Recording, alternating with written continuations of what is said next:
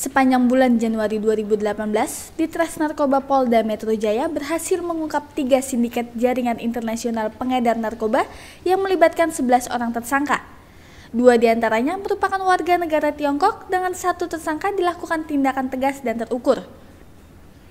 Tiga sindikat yang digulung polisi itu merupakan warga negara dari Tiongkok, Malaysia, dan Thailand. Selain mengamankan 11 tersangka, polisi juga menyita beberapa barang bukti dari tangan tersangka, di antaranya berupa 5,5 kg sabu, 4,7 kg ketamin yang merupakan bahan dasar untuk pembuatan sabu, serta satu unit mobil mewah.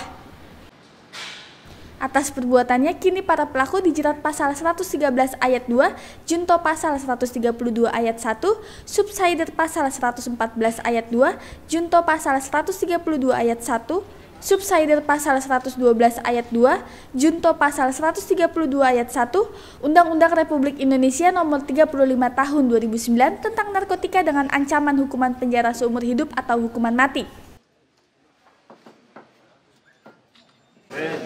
Uh, sore ini sengaja kita laksanakan eh, press release uh, hasil pengungkapan yang dilakukan oleh Direktorat Reserse Narkoba Polda Metro Jaya.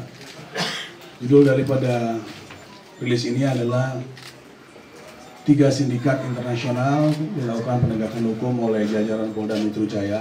Yang pertama sindikat Malaysia, sindikat Tiongkok atau China, yang ketiga sindikat Thailand. Untuk sindikat dari Tiongkok itu berupa uh, 1 kilo 1,9 kg K satu tersangka dalam bentuk ketamin. Lalu untuk Malaysia itu juga satu kilogram uh, sabu bersama uh, dengan ketamin 75 gram dengan empat tersangka dan barang buktinya selain itu juga ada satu mobil yang digunakan yaitu Mercedes-Benz. Lalu kasus berikutnya sindikat Ulangi, sindikat Malaysia ada dua. Sindikat Malaysia ini modusnya, uh, ini sudah yang kedua kali. Modusnya adalah kurir membawa dalam bentuk dibungkus pembalut wanita.